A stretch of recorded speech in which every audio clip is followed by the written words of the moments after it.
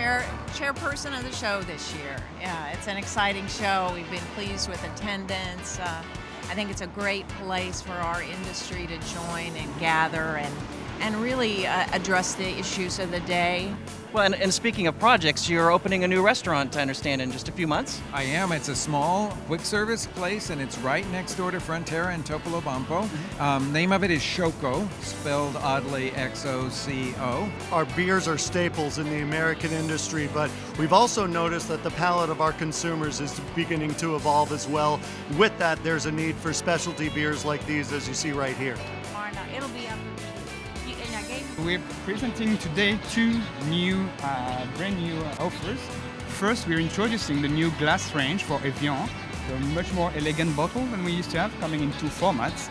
And we're also bringing to Evian a sparkling companion, uh, which is a new brand, Badoit, uh, which is sparkling natural mineral water, mm-hmm. coming to the market both of, the, both of these offers as of uh, this July wherever you are, you never have the coupons that you, first of all, if you have time to clip the coupons, the paper coupons, you never have them when you need them. They're always left at home, or you leave them in the, the compartment in your car door or whatever. So I created Yowza. And then, of course, we also have uh, a new package from New Belgium Brewing Company, the Fat Tire can.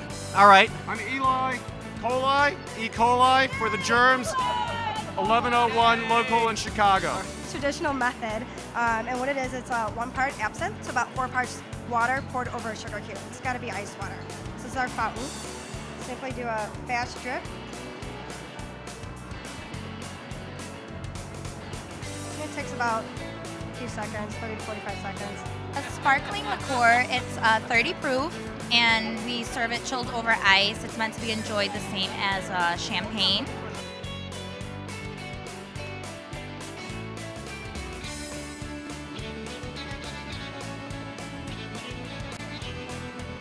What we also do is very well is um, we're a very open economy, so all of our producers are very efficient.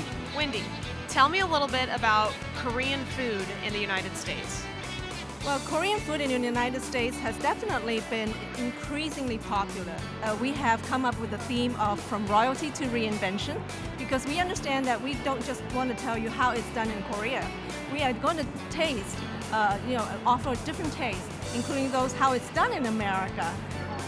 iCook is a very interesting product. It's a new platform for the food service industry. We've built channels for all of the food service stakeholders, the distributors, the manufacturers, and of course the operators.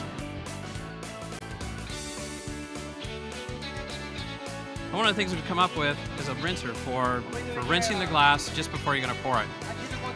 And one of the things this does is it doesn't it doesn't wash the glass, it's just rinsing out any impurities that might be in there. It's just natural condensation. This body is filled with glycol, which is down to 19 degrees, and that's just making the condensation on the outside. And if the ambient temperature and the humidity is there, all of that helps to, to create that ice.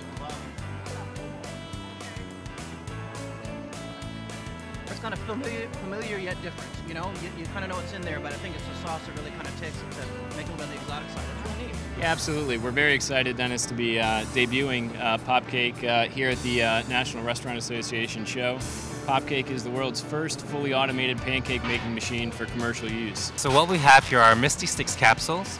The way they work is, we just take our Misty Stick, we pop them open with that little tab over here, and inside is a little cavity, and in, we're gonna drop in a slug of dry ice. That's what's creating the cool fog effect. Uh-huh.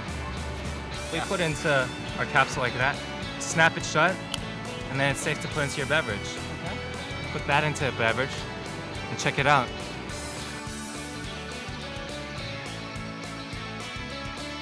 The last couple of days we've been at NRA, the food show in Chicago, and as you can see behind me, there's tons of stuff to see. We've been speaking with industry leaders, talking about the latest industry trends and what's going to be next in the restaurant world. For the Food Channel, I'm Kristen Niemer.